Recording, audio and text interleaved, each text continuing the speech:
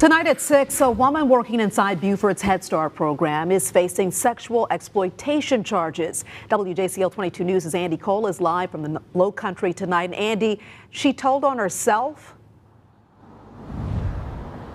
Yeah, Beaufort deputies tell us Holly Hodges self-reported her crime to her supervisor. Once they heard, they alerted police and investigators moved quick. Is that at all unusual to have someone self-report a crime like this? Uh, it's the first time in my career that I know of something like this happening. 55 year old Holly Hodges is behind bars, charged with sexual exploitation of a minor, plus drug and assault charges. According to her arrest warrant, she took a picture of a four year old boy while in the bathroom with his pants and underwear down. We know the child in the image that we can verify has been identified, and I will not speak beyond that. After self reporting the crime to her supervisor, Head Start alerted police. When they searched her, police found crushed up Adderall in Hodges' purse.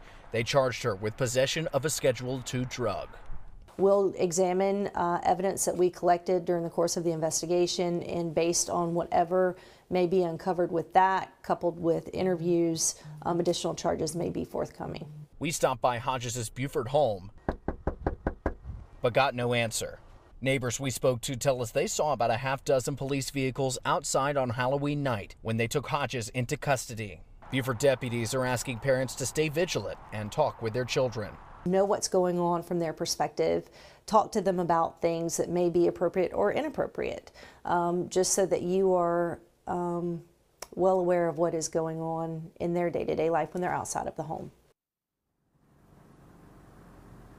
And in Head Start's defense, Beaufort deputies tell us they did everything they were supposed to and continue to cooperate with investigators. We reached out to them for a comment but did not hear back. Reporting in Beaufort, I'm Andy Colt, WJCL 22 News. Andy, thanks so much.